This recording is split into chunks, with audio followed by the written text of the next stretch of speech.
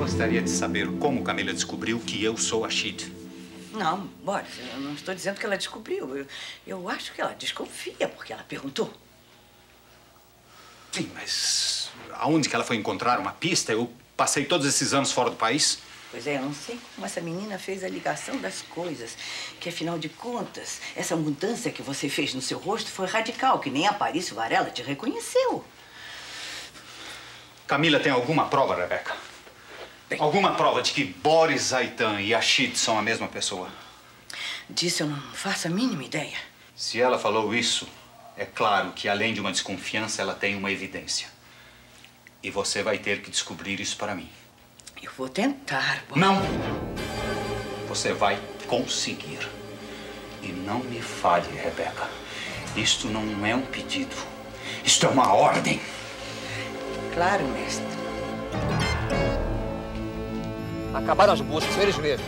São nós o quê? Nós não me é ladrão, não me é assassino, nós não me é nada. Não precisa ficar assustada, moça. Claro que eu me tô assustada, o senhor me tá aí com o maior revolvão na minha cara, me tô assustada. Me manda esses cachorros pra lá, que eu tenho medo de cão. Esse revólver é só pro caso do mocinho aí não querer colaborar. Acontece que aqui não tem nenhum ladrão nem assassino. Cala tá? a boca! Já estamos acostumados com gente da tua laia.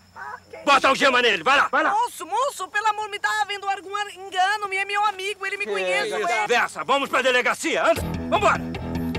Vambora, vamos pra delegacia, vergonha. Não me empurra ele que ele me tá doente. Deixa a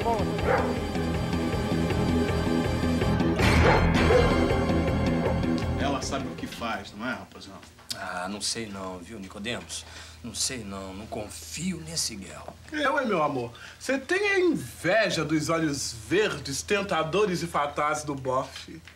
Sai pra lá, maricona, sai pra lá! E eu lá sou de me amarrar em olho de homem? Tá me estranhando, é? Volta pro barco, é teu lugar, volta! É isso mesmo, some daqui. Tudo bem, meu amor. Eu vou. Mas vocês tenham muito cuidado comigo. Porque esta semana eu vou falar com ela.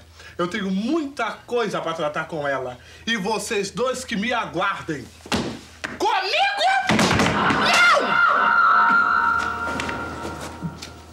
E eu, hein? Essa nega é maluca.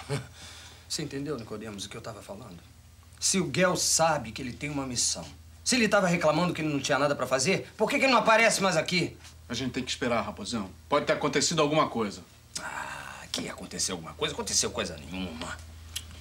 Escuta aqui, Leozinho. Vamos fazer a nossa obrigação, entendeu? Vamos ficar esperando.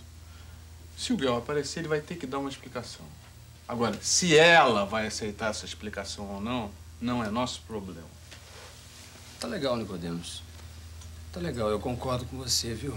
Agora, o Nicodemos, você me faz um favor? Fácil, fala aí. Não me chama de Leozinho. Quantas vezes eu já te pedi? Leozinho é só pra ela. É só pra Fefe e pra ninguém mais. Entendeu? Não ouse profanar o meu nome. Entendeu, Nicodemos? Deu pra entender? Tá bom, raposão. Escapou! Ah, escapou? Você escapar novamente, eu vou te dar um daqueles socos na cara. Entendeu, Nicodemos? Eu vou te dar um soco bem na tua cara. Não vai entender?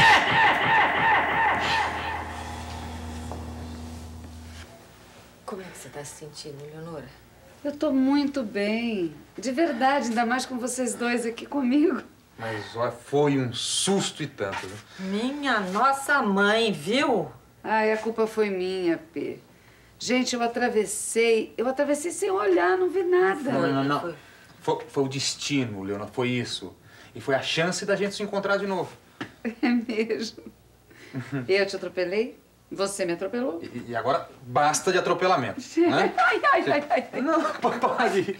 Não, isso dói, eu sei como é isso. Isso dói, eu- foi a dor que eu senti aquela vez. Fica Não, quietinho. mas não tem muita dor, não. Teve só uma pontadinha. Não, mas fica quietinho que, que é melhor.